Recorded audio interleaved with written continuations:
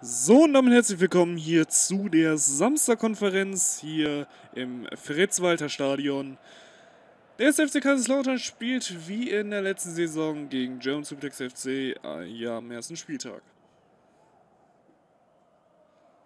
Und genau wie am ersten Spieltag wird dieses Spiel hier auch in der Konferenz vorhanden sein. Ja, die beiden Teams, die kennen sich zu gut hier, wenn es hier um den ersten Spieltag geht. Der erste Spieltag im Pokal in der letzten Saison, die erste Runde. Damals hatte German Subtex FC für sich diese Partie entscheiden können mit einem 1 zu 0. Nee, nee, nee, nee, nee nicht nach einem 1 zu 0, nach ähm, Elfmeterschießen. Dann hat am ersten Spieltag der Liga German Subtex FC mit einem 1 zu 0 gewonnen. Und im Rückspiel hat dann German Suplex FC wieder gewinnen können am 12. Spieltag. Falls ich falsch liege, dann korrigiert mich doch bitte. Nein, wirklich, korrigiert mich dann, wenn ich falsch liege. Am besten auch jetzt. So, das Spiel beginnt.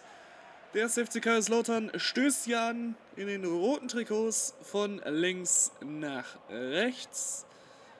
Die Gäste aus Hamburg spielen in den blauen Trikots von rechts nach links. Ja, German Suplex FC beendete trotz, na, sagen wir, interess einer interessanten Saison.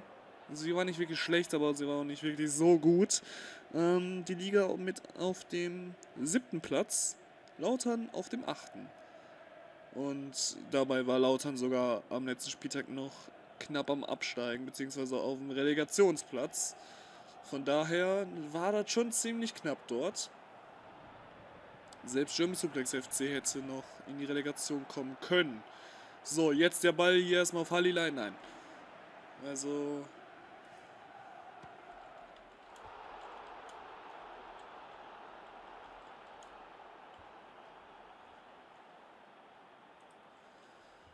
Ja, die Chance hier von German Suplex FC. Hier nochmal mit einem Replay.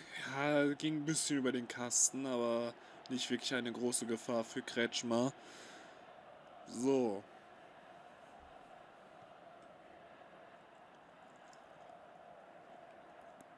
Das Ziel der Hausherren ist auf jeden Fall, ähm, den europäischen Platz zu erreichen. Ähm, ja, mal sehen, ob sie dies hier in dieser Saison ähm, erreichen werden. Jetzt Jakubow am Ball. Burn auf Lipinski. Branko. Ja, mal sehen, ob sie hier auf jeden Fall einen besseren Start als in der letzten Saison hier hinlegen könnten. Auch wenn sie ja am zweiten Spieltag gegen Dassau mit 2-1 gewonnen haben, lief die Saison nicht wirklich so gut. Aber es war auf jeden Fall besser, als die Kritiker ähm, gedacht hatten. Jetzt hier erstmal der Eckball, aber keine Gefahr für German Suplex FC. Ja, jetzt könnte es langsam zu einer Gefahr werden, wenn jetzt Lipinski in die Mitte gibt. Der gibt jetzt hier auf Branko Zander jetzt hier wieder Lipinski.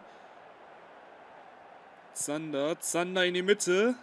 Na, war nicht wirklich in die Mitte, aber Einwurf für die Gäste aus Hamburg.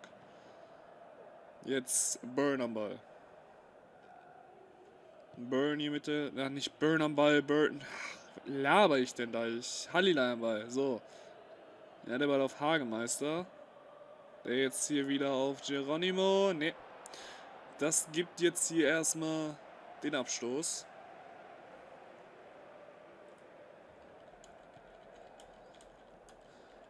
Jetzt Bittner am Ball. Bittner hier auf Nigel Smith. Nigel Smith jetzt hier wieder. Ja, Lukac. Branko jetzt hier Lipinski. Ja, 20 Minuten gespielt, es steht immer noch 0 zu 0 und es ist eine ziemlich ausgeglichene Partie. Also, da kann auf jeden Fall mehr kommen. 1 zu 0 für Lautern. Problem. Oh, der war noch nie am Abseits.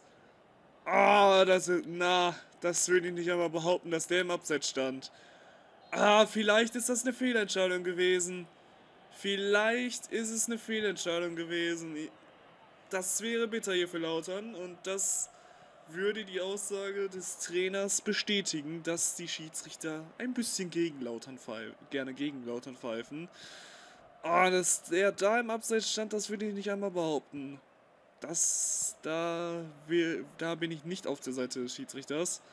Das war meiner Meinung nach gleiche Höhe, auch wenn man nur Jakubovs Bein gesehen hat. Aber ich glaube, dass letztendlich das Bein vom Verteidiger auch auf der gleichen Höhe war. Jetzt hier Burn, nein, so wird das nichts. So wird das hier nichts. Und jetzt der Ball auf Rasim Halila. Nein, Nigel Smith. Lukac. Nigel Smith auf Rohrbach. Lukac, Rohrbach. Rohrbach. Und ja, ähm, Hero Richmond hat ähm, einen Grund zu feiern gehabt, weswegen er wahrscheinlich jetzt nicht hier in der Startaufstellung spielt, weil er noch ein bisschen angeschlagen ist. Ähm, er hatte einen Grund zu feiern gehabt, denn sein Land, ähm, beziehungsweise seine Nationalmannschaft, kam in die interkontinentalen Playoffs und wird gegen den, ich glaube, drittplatzierten oder fünftplatzierten, ich bin mir nicht sicher, der, ich glaube, äh, der drittplatzierte, der Nordamerika-Qualis, ähm, in denen werden die antreten. Ja, Tahiti kam in die interkontinentalen Playoffs noch vor Neuseeland. Aber das soll jetzt hier nicht das Thema sein. Vielleicht wird er ja hier in dieser Partie mal auflaufen. Wer weiß, wer weiß. Burn auf Lipinski. Jakubov. Lipinski auf Burn. Lipinski, ja, genau in die Mauer gehauen. 1A würde ich mal sagen. Jetzt hier der Konterversuch. Halilei. Golfinger. Ja, Golfinger jetzt hier auf Halilei. Nee. Ja, Halil, ich bin mir nicht sicher, ob das hier die Saison für Halilei wird. Er hatte ja einige gute Ansätze, sagen wir es mal so, in der letzten Saison, aber so wirklich aufblühen konnte er nicht wirklich, wenn man es so nennen möchte. Jakubov, Jakubov, aber Adelstein, das ist kein Problem für ihn. Äh, wie gesagt, also richtig aufblühen konnte Halilei nicht, aber er konnte auf jeden Fall auf sich aufmerksam machen. Aber der Junge hat mehr Potenzial. Jetzt Golfinger am Ball. Held, Konrad Held. Jetzt Golfinger auf Hagemeister. Hagemeister auf Halilei und ja, gibt jetzt hier kein Eckball da. Der Lautern-Spieler den Ball zu, zum Einwurf geklärt hat. Das ist eine beachtliche Leistung gewesen. Ich dachte, der Ball wäre schon im Aus. So, Lipinski jetzt hier auf Hein. Ja, Burn. Und jetzt Fehler am Ball. Fehler. Ja, Konrad Held auf Geronimo. Geronimo. Und Bittner. Nigel Smith. Ja, und damit endet dieses Spiel hier, beziehungsweise die, die erste Halbzeit endet hier, nicht das ganze Spiel. Ähm, ja, 0 zu 0 hier zur Halbzeitpause für den FC Kaiserslautern.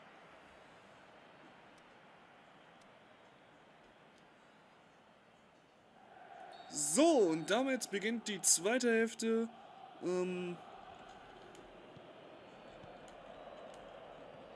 ja, mal sehen, wie German Suplex FC jetzt hier aus der Kabine rauskam. Auf jeden Fall deutlich aktiver als in der ersten Hälfte. Gibt jetzt hier einen Abschluss oder einen Eckball? Ich bin mir nicht sicher. Einen Eckball. Da war also der Lautern-Spieler zuletzt dran. Ja, 43, 43. Minute, äh, 48. Minute, nicht 43. So, jetzt Konrad Held! Und ah, da habe ich ja schon fast meine, erst, meine Flashbacks vom ersten Spieltag aus der letzten Saison gehabt.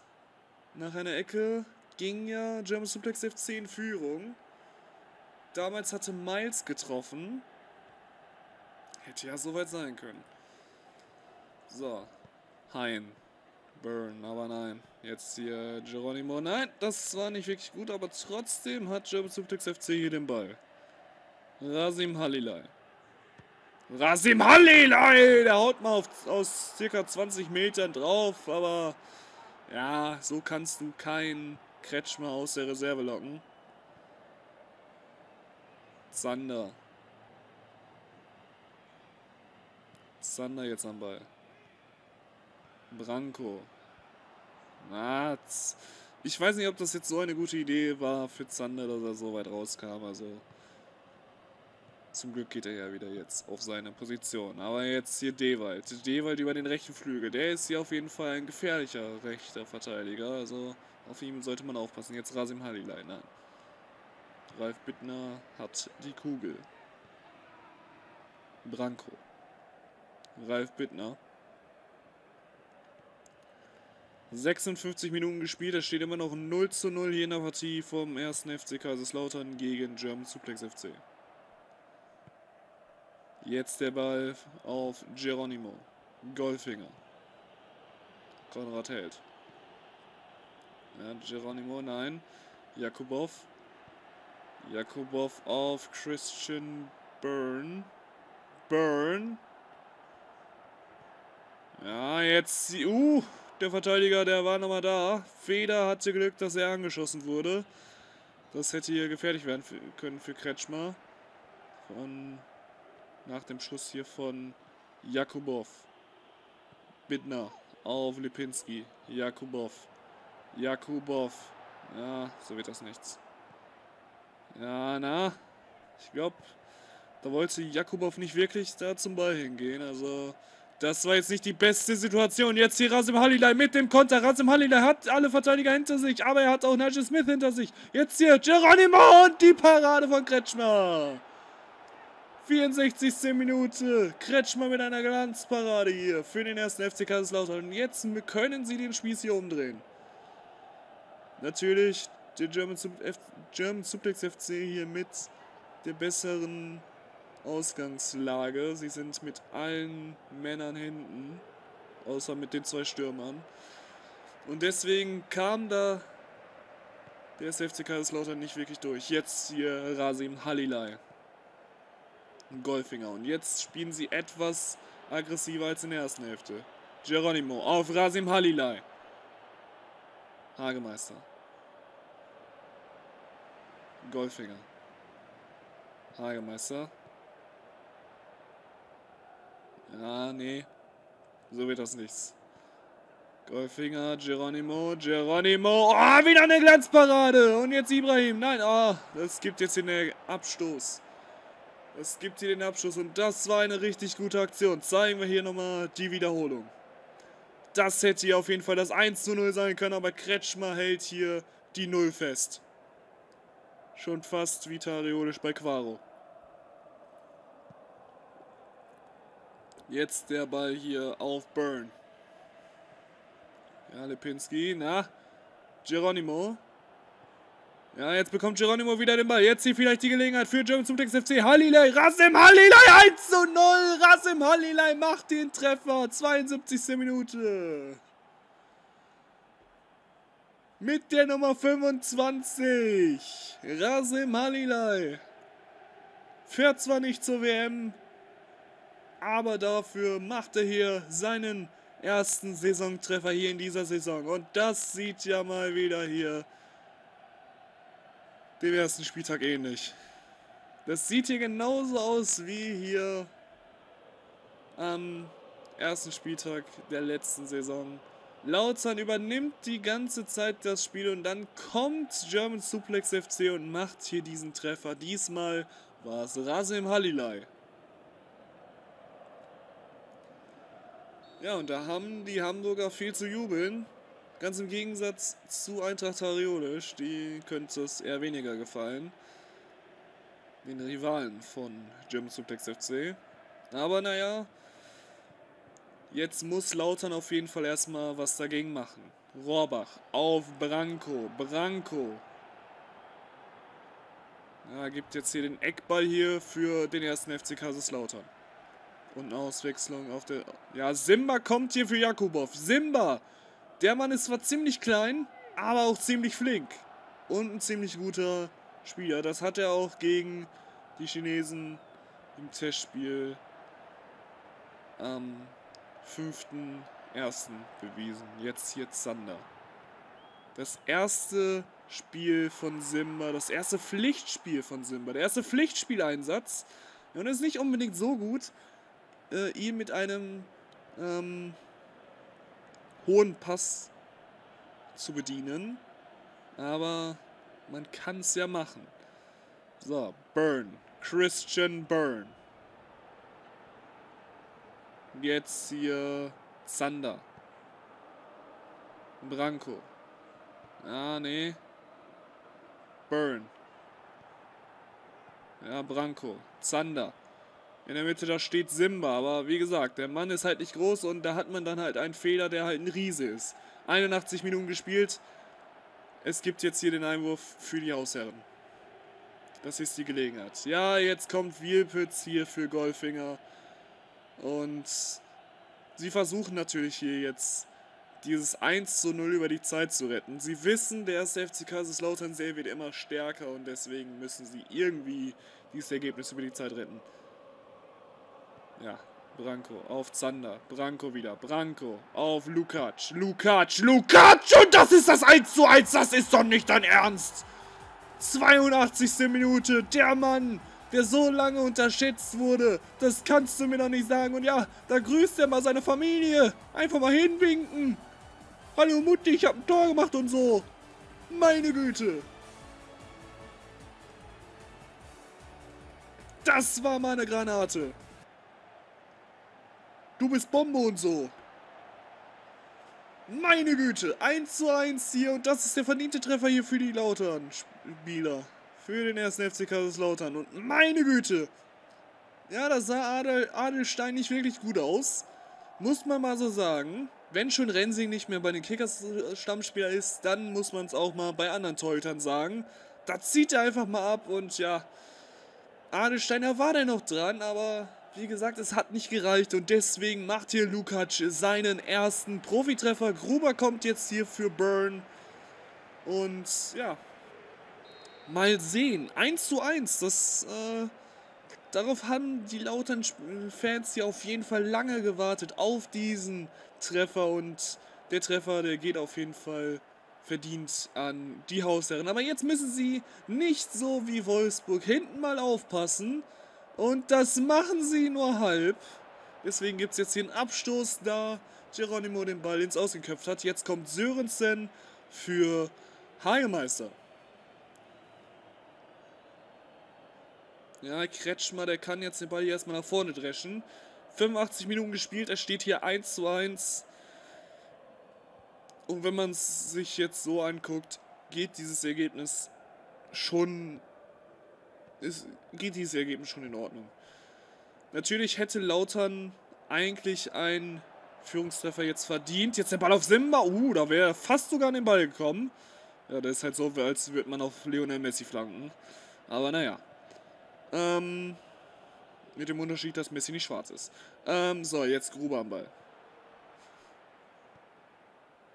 Feder. Konrad Held. Ja, Bruno Lazar. Ja, 90 Minuten gespielt. Es gibt jetzt nur noch die Nachspielzeit gleich hier auf der Uhr. Mal sehen, wie lange diese sein wird. Zwei Minuten. In zwei Minuten hat hier der erste FC Kaiserslautern nochmal die Chance, hier dieses Spiel komplett umzudrehen und mich komplett äh, zu zerstören. So, jetzt Sander. Sie müssen den Ball jetzt hier auf jeden Fall in der Region des 16ers von den Hamburgern halten. Jetzt gibt es hier nochmal den Eckball. Es gibt hier nochmal den Eckball in diesem Spiel. 93 Minuten, eine Minute zwar drüber, aber es gibt hier den Eckball hier für die Hausherren. Und ja, da hätte nicht einmal mehr der Hamburger rangehen müssen. Der Ball wäre auch so im Aus gewesen. Aber so wird es noch spannend. Lipinski. In der Mitte, da ist so viel Platz. Aber der Ball wurde jetzt hier erstmal nach vorne gedrescht. Und das war's Ebenfalls endet dieses Spiel, genauso wie am Freitag, mit 1 zu 1. Nur mit dem Unterschied, dass der SFC Kaiserslautern 10 Minuten gebraucht hat und nicht 2 Minuten. Aber egal, es war auf jeden Fall eine ansehnliche Fußballpartie. Vielen Dank fürs Einschalten. Wir sehen uns dann um 18.30 Uhr beim Topspiel RB Geinkirchen gegen TSV Erdorf. Ciao Leute und haut rein.